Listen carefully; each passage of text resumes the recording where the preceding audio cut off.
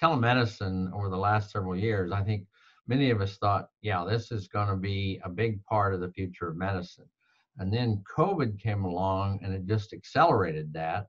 And specifically, as we, because of the highly uh, infectious nature of COVID, many of us transitioned from traditional uh, visits to televisits. And so um, I feel blessed because I was a little bit ahead of the curve and it was pretty seamless, but uh, it's so important again if you're going to have to do that so quickly to have resources like a telemedicine echo again to learn from experts um, and to get practical tips.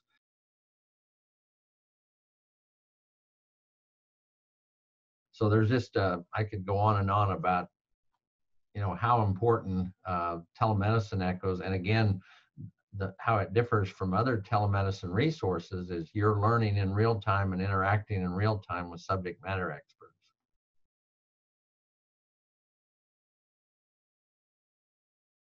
Telemedicine is here to stay well beyond COVID. It's going to continue, I think, to expand. And as we talk about, it's we we it's forced us the the crisis of COVID has forced us to um, think outside the boundaries, so to speak. And I, I think that's that's one of the maybe the few things good about COVID.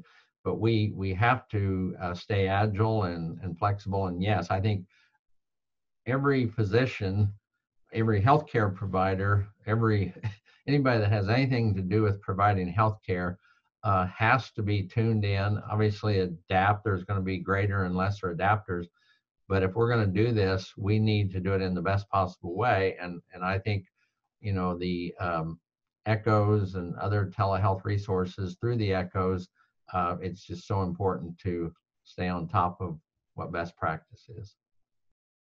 This video was made possible by the Heartland Telehealth Resource Center through grant CTRC-GA5RH37462 from the Office for the Advancement of Telehealth, Federal Office of Rural Health Policy, Health Resources and Services Administration, and Department of Health and Human Services.